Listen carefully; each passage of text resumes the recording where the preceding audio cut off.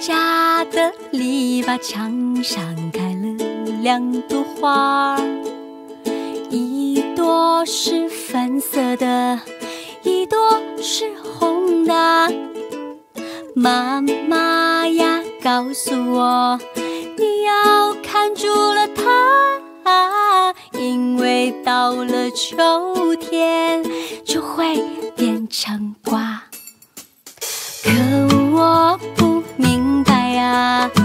是藤上花，为啥一朵是粉色的，一朵却开红花？妈妈呀，告诉我，那是会相思的瓜，想念的或多或少，颜色才不同啊。